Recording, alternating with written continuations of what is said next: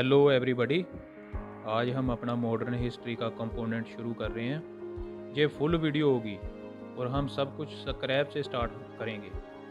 ये वीडियो सारे एग्ज़ाम के एस्पेरेंट्स के लिए है।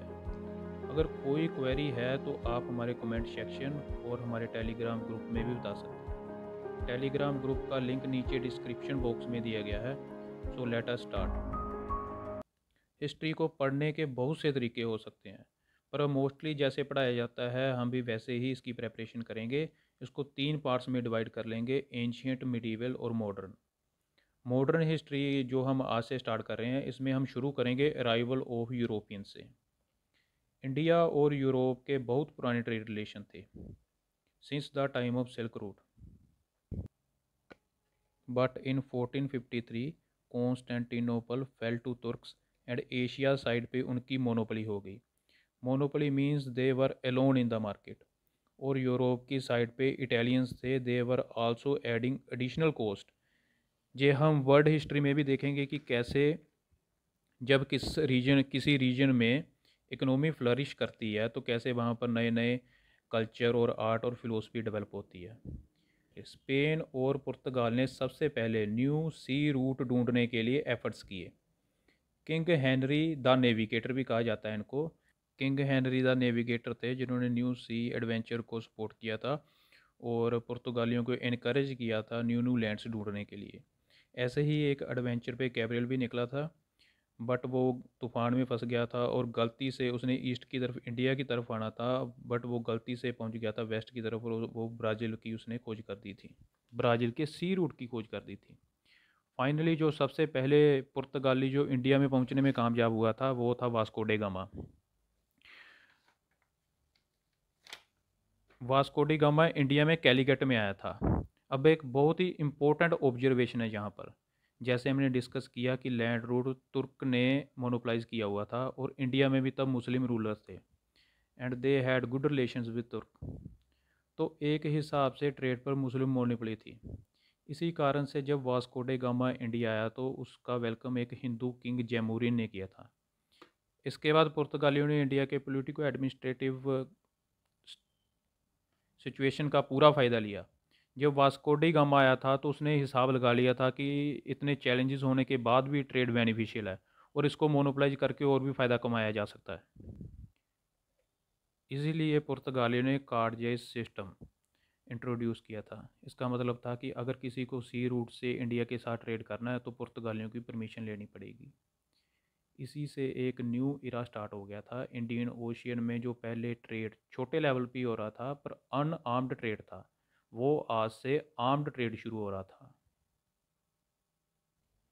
नेक्स्ट हम देखेंगे कुछ इम्पोर्टेंट गवर्नर्स। सबसे पहला है अलमेडा। उसने पुर्तगालियों के लिए सुजेस्ट किया था कि जब तक पुर्तगाली ब्लू वाटर पॉलिसी फॉलो करेंगे दे कैन सर्वाइव मीन्स अपनी सेटलमेंट्स इंडियन कोस्ट के पास बनाओ। बट लेटर हम देखेंगे कि कैसे पुर्तगाली इंटरनल वॉर्स में इंक्लूड हुए और सेकंड इम्पोर्टेंट गवर्नर था अल्बुकर्क इसने बीजापुर की आदलशाही डायनेस्टी से गोवा कैप्चर किया था। और इसमें इसकी मदद की थी बीजापुर के कमांडर तिमाया ने। कुछ कंट्रोवर्सीज भी स्टार्ट कर दी थी like he increase his man to marry Indian women and also abolish sati in his region of course क्योंकि सती को हम देखेंगे बाद में कि ऑल ओवर इंडिया पे किसने बैन किया था। No doubt sati was a very false practice but हमारी सोसाइटी ने इसको अपोज किया था। और ये भी एक कारण था पुर्तगालियों का जो वहाँ पर विरोध हो रहा था। और फ़र्स्ट जो उसने पुर्तगालियों को इंडियन वुमेन से मैरी करने को कहा था, इसका एक रीज़न था कि पुर्तगाल एक बहुत छोटा देश था। और अगर इंडिया में इनको अपने एम्बिशंस को फुलफ़िल करना था तो इसके लिए दे नीडेड लार्जर वर्क हम आगे देखेंगे कि कैसे यही एक कारण बनेगा पुर्तगालियों का इंडिया में डिक्लाइन का। Next important governor is Nino da Cunha. इसका एक ही इम्पोर्टेंट काम था कि इसने कैपिटल शिफ्ट की थी टू गोवा। इसके बाद हमारा एक और इम्पोर्टेंट गवर्नर है इल्फांजो डिसूजा इल्फांजो डिसूजा के टाइम पे सेंट फ्रांसिस्को जेवियर इंडिया आए थे। आइए अब देखते हैं कि इनके आने के इम्पैक्ट क्या हुए थे। सबसे पहले इनके आने का इम्पैक्ट हुआ था कि जो इंडियन ट्रेड पहले अनआर्म्ड था, वो आर्म्ड हो गया था। और दूसरा कि इंडिया में जो पहले मुस्लिम मोनोपली थी ट्रेड पे, वो अब ख़त्म हो गई थी। इसके साथ ही हम देखेंगे कि जब कोई भी बाहर से सेटलमेंट लेके आ रहा है तो वो अपना आर्किटेक्चर अपना कल्चर अपनी language social laws custom dress food सब कुछ लेके आएगा। कुछ इंपॉर्टेंट जहाँ पर लिखे हुए हैं प्लीज़ नोट डाउन नेक्स्ट हम देखेंगे कि कैसे पुर्तगालियों का डिक्लाइन हुआ।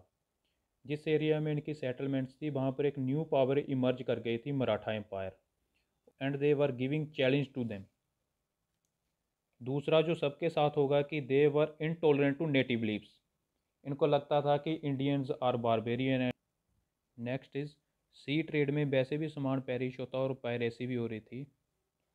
और धीरे धीरे इनका ध्यान ब्राज़ील की तरफ़ ज़्यादा हो गया था। और ब्राज़ील की तरफ़ इन्होंने ज़्यादा कर लिया था और वैसे भी हम बाद में वर्ल्ड हिस्ट्री में भी देखेंगे कि एक इनका एग्रीमेंट हुआ था, इनका और स्पेन का। उससे भी पूरा चेंज हो जाएगा सिनेरियो। एक और इम्पोर्टेंट चीज़ कि इन्होंने बॉम्बे का पोर्ट दहेज में दे दिया था ब्रिटिश प्रिंस को। डच 1602 में आए थे। पहले इनके और ब्रिटिश के बीच लड़ाई चल रही थी, बट जब फ्रेंच आ गए तो इन्होंने अपनी सारी सेटलमेंट ब्रिटिश को बेच दी थी। और इन्होंने एक इन्होंने एक एग्रीमेंट साइन किया था कि ब्रिटिश इंडिया में रहेंगे और डच इंडोनेशिया में शिफ्ट हो गए। इनकी मेजर फैक्ट्री दी गई हैं please note down from here आगे है ब्रिटिश। ब्रिटिश ने 1599 में अपना रिप्रेजेंटेटिव इंडिया भेज दिया था। अब आप बताएँगे कि तब इंडिया में एम्पर कौन था? Right in comment section Britain के कुछ मर्चेंट्स ने 1600 में ईस्ट इंडिया कंपनी बनाई थी। क्वीन का भी शेयर रखा था। और इसमें क्राउन का भी शेयर रखा था।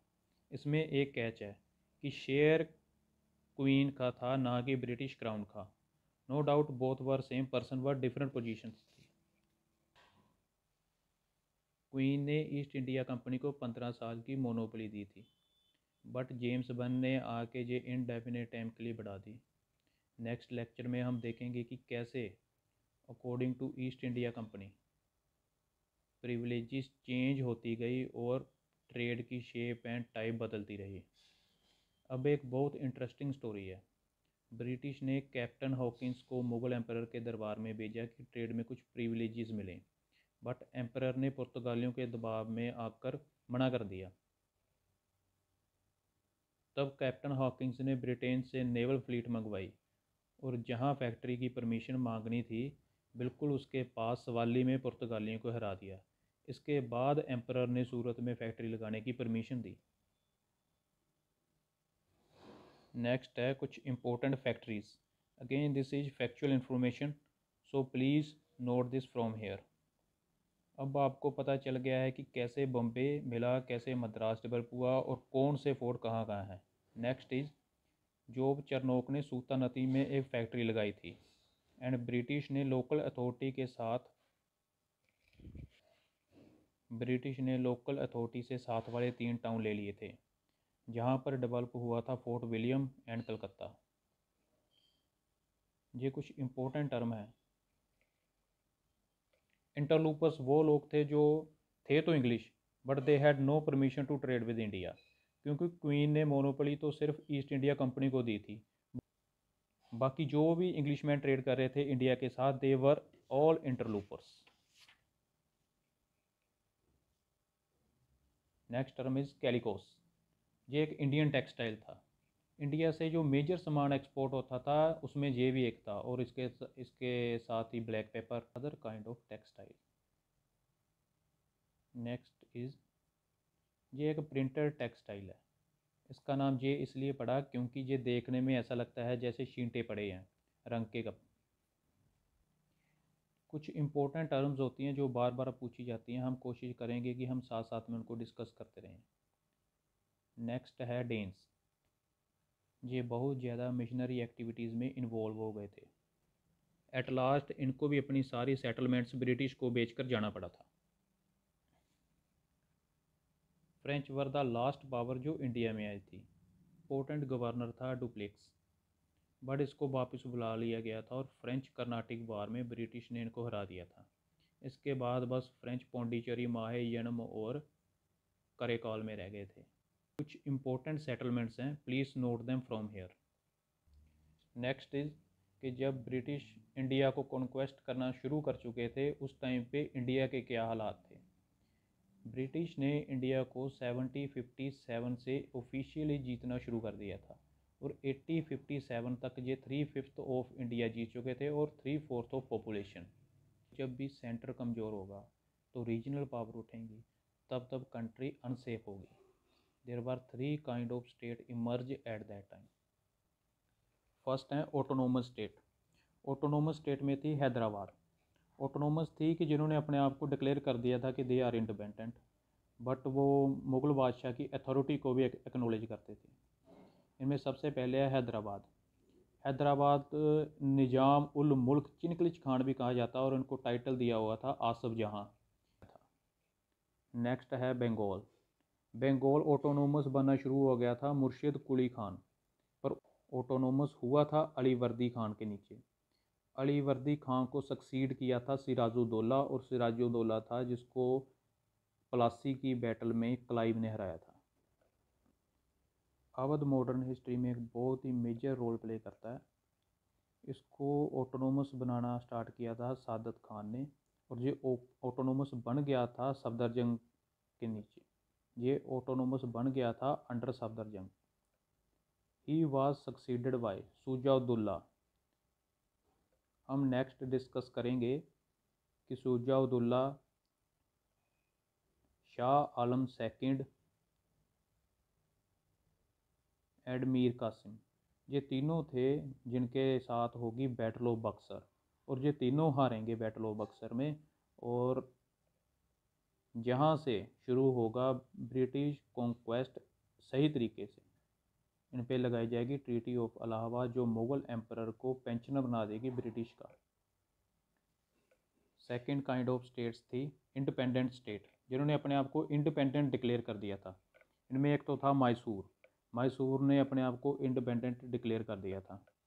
मैसूर पर पहले रूल करती थी हिंदू बोडियार डायनेस्टी बट उनके कमांडर हैदर अली, जो बहुत ही ज़्यादा एम्बिशियस था, उसने उनको रिप्लेस करके अपना एक एम्पायर खड़ा किया था और इसके बाद उसको सक्सीड किया था टीपू ने। टीपू ने भी बहुत सारी बैटल्स लड़ी थी इंग्लिश के साथ और finally Tipu was defeated in fourth Anglo Mysore war by Lord Wellesley ये हम देखेंगे जब हम इसको डिटेल में करेंगे। इसके साथ ही और एक छोटी सी स्टेट थी त्रावणकोर त्रावणकोर ने ब्रिटिश से ट्रीटी साइन कर ली थी क्योंकि इसको डर रहता था कि मैसूर इस पर अटैक कर देगा। थर्ड टाइप थी रेबल ग्रुप रेबल ग्रुप में सबसे पहले है Marathas. They started their journey of independence since Shivaji Maharaj. और देन इनको फॉलो किया था Shambha ji then Ram ji then Tarabai then Sahu. But slowly slowly जैसे जैसे छत्रपति की पावर्स कम होती गई, पेशवा पावरफुल होते गए। Initially Peshwas were not hereditary but जब पेशवाज की पावर बढ़ गई तो इन्होंने अपनी पोजीशन को हेरिडिटरी कर दिया। पोजीशन हेरिडिटरी करने के फ़र्स्ट टू और थ्री पोजीशन तो बहुत स्ट्रॉन्ग पेशवाज मिले। बट उसके बाद पेशवा भी कमज़ोर होते एंड में हम देखेंगे कि पेशवा ने मराठा चीफ से डर के ही इंग्लिश से ट्रीटी की थी। ये कुछ इंपॉर्टेंट पेशवा दिए गए हैं। सबसे पहले हैं बालाजी विश्वनाथ देन बालाजी बाजीराव।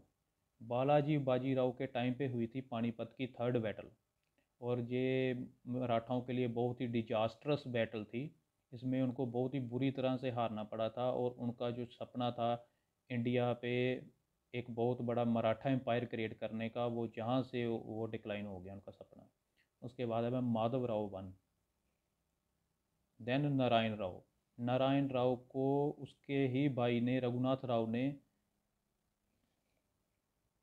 नारायण राव को उसी के भाई रघुनाथ राय ने मार दिया था और उसने ब्रिटिश से ट्रीटी कर ली थी अगेंस्ट अदर मराठा पावर्स। ये हम सारा कुछ डिटेल में देखेंगे जब हम मराठास की हिस्ट्री करेंगे। नेक्स्ट रेबल स्टेट है जाट। जाट, जाटों को लीड कर रहे थे सूजामल और उनके साथ है अफ़गान्स। अफ़गान्स में दो ग्रुप्स थे, एक था अली मोहम्मद रोहिलखंड के और दूसरे थे अहमद खान फारूखाबाद के। नेक्स्ट स्टेट है पंजाब। जब गुरु गोविंद सिंह जी ने खालसा पंथ की स्थापना की थी तो उसके बाद में एक वॉरियर क्लास तैयार हो गई थी पंजाब में। तो उन्होंने तब से अपनी एक स्ट्रगल शुरू कर दी थी इंडिपेंडेंस को लेकर मुग़लों के ख़िलाफ़। और जिसको आगे लेके गए बाबा बंदा सिंह बहादुर एंड अल्टीमेटली महाराजा रंजीत सिंह कामयाब हो गए एक बड़ा सिख एम्पायर क्रिएट करने में। जहाँ पर एक इम्पोर्टेंट ट्रीटी दी गई है महाराजा रंजीत सिंह को और ब्रिटिश के बीच में। सबके बारे में हम आगे पढ़ेंगे, जब इस टॉपिक को हम डिटेल में करेंगे। और हम अब एक एक कंपोनेंट को कल से डिटेल में करेंगे। जैसे जैसे हम आगे आगे बढ़ते जाएँगे, आपके सारे कंसेप्ट क्लियर होते जाएँगे। So this is all for today please like share and recommend